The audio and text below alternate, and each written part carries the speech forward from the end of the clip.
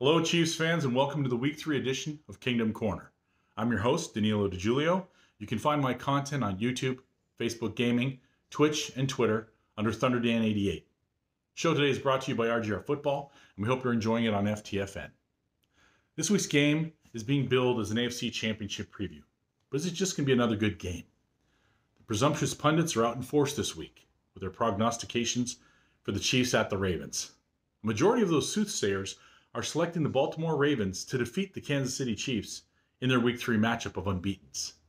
Many consider this game, as I mentioned before, a potential preview of the AFC title game. I myself am one who has alluded to that fact that it very well could be.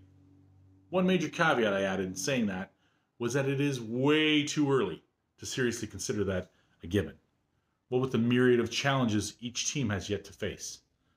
Every year, teams deal with unexpected injuries, as has already been evidenced by the number of big name players who went down in week two, many of whom are lost until the 2021 season. Then there's the new, ever present threat, the sword of Damocles that is always hanging above us the coronavirus. Any player or coach could be lost to quarantine or the illness for a number of weeks should they get sick or even come in contact with someone who's tested positive for COVID 19. One thought I definitely do not agree with, many of the anchors upon, is the fact that a lot of them think that the Ravens will not only win the football game, but they'll win in a blowout of the undefeated defending champions. The reasons I protest are many, and the least of which is the fact that this Chiefs team just won the Super Bowl last year. That matters, but that's not the main reason. And some of the events that we have to look at, we have to look back the past few years to think about those things and consider them in my breakdown of the coming game. These events are undeniable evidence that anything more than confidence that this Sunday's game, the Ravens will be a challenge for the Chiefs. And they may succeed. Anything more than that is foolhardy. As foolhardy as thinking that any team is safe, thinking a double digit lead against Patrick Mahomes is enough. Andy Reid and Mahomes have proven that that just doesn't get it done sometimes.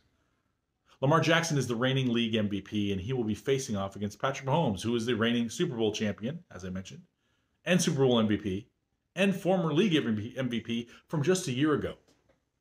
Mahomes has put up interstellar numbers from the pocket, the likes of which have only been matched by one person before in the history of the league. And they both have the same initials embossed on their luggage. Patrick Mahomes and Peyton Manning are the only two quarterbacks in the history of the NFL to throw for over 5,000 yards and 50 or more touchdowns in one season. Manning did it while he was at the height of his football powers, leading his second franchise, the Denver Broncos, which we know all too well, uh, to many a win versus the AFC West and the entire league. He was 37 years old at the time. And his arm seemed to fall off right around the middle of the Super Bowl against the Seattle Seahawks, which the Seahawks went on to win, of course, in a blowout. Following season saw the Sheriff, as Manning was fondly known, chased off of his home field by the Chiefs by halftime after throwing an interception and then setting the league record for passing yards and then throwing three more interceptions. I was there. It was glorious. The Broncos won the Super Bowl that year on the backs of their defense, and Manning rode off into the NFL sunset. Chiefs have never looked back, winning every AFC West title since Archie's boy traded in his cleats for commercials full time. Meanwhile, Patrick Magic Mahomes, still my favorite of his many nicknames, reached that NFL 50 touchdowns and 5,000 plus yards high watermark in his first season as the Chiefs' starting QB. A season that ended marred by questionable calls in an AFC championship game that was held at Arrowhead and led to an uninspiring Super Bowl between the Rams and the Patriots. We all remember that all too well. Young Patrick won his first Lombardi last year, second year as a Kansas City Triggerman. Lamar, on the other hand, has been one and done, one and done, each of his first two seasons. Let's take a deeper look at his progress. In Lamar Jackson's first season in Baltimore, he was unarguably raw passing from the pocket, as unarguably as he was dynamic when running the football. A cursory glance at Mr. Jackson's highlight reel would lead any football analyst to believe that under the tutelage of John Harbaugh and his talented coaching staff, Lamar's passing at the NFL level would eventually round into form. Last season, he showed a lot of improvement in his ability to pass, throwing for over 3,000 yards while completing over 66% of his passes, which was up from 58 the previous season. Two key reasons why he won the league MVP. But while Lamar is developing into an improved passer, the Chiefs have one of the decidedly best passers in the league and possibly the history of the league.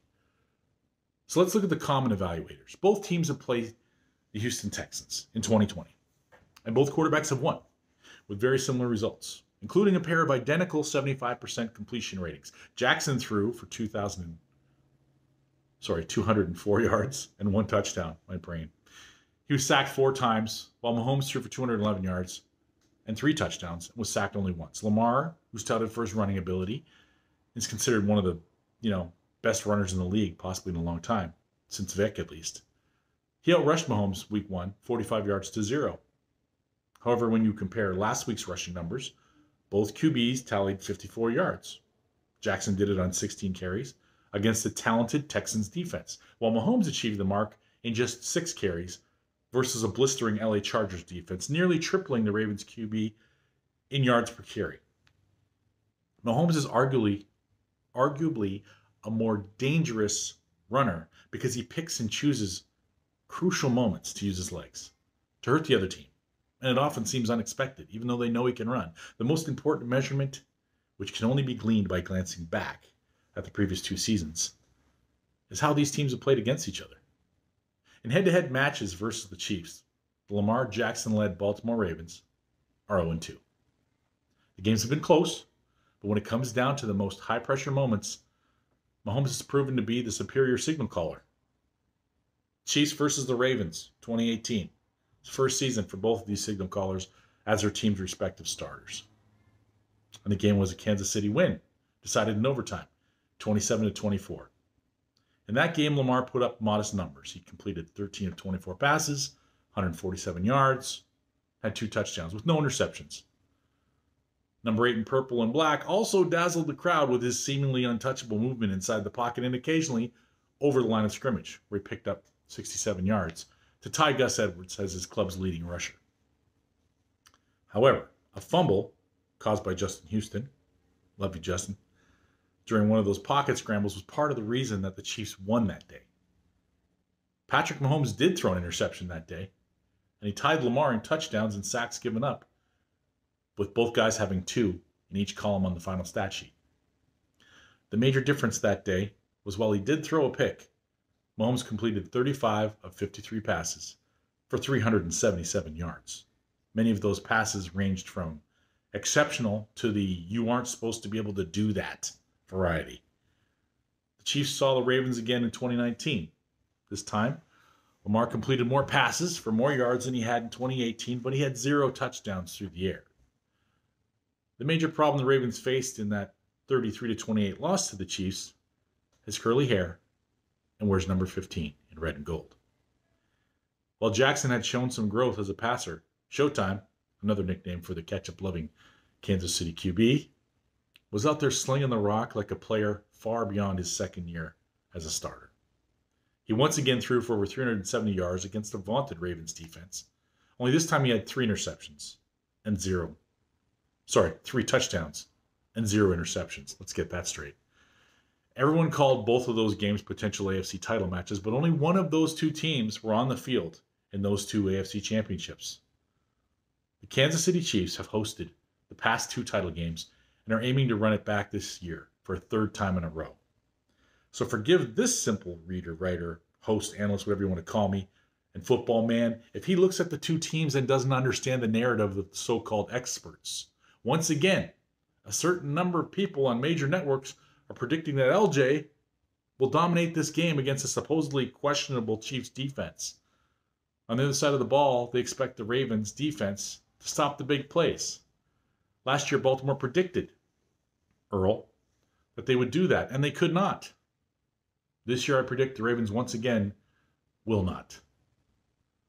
As long as these two teams line up a healthy Patrick Mahomes versus a healthy Lamar Jackson, until proven otherwise, I predict the Chiefs will always have their number. The league has matched them up again this Sunday for the third year in a row. Sorry, this Monday. Monday Night Football three years in a row. The NFL is proving they're not going to be denied potential ratings bonanza games again, the way they were between their big QBs back in the old days, like the limited matches between Montana and Marino. It's not happening. They're going to get these quarterbacks together a lot. Throw Deshaun Watson in that mix as well. Much to the chagrin of any Ravens fan listening to this, I think your chances of turning the tide against the red and gold is never more. Patrick Mahomes will shine once again in the national spotlight on Monday Night Football. The Chiefs will win, potentially another close one. I'm predicting 42 to 37.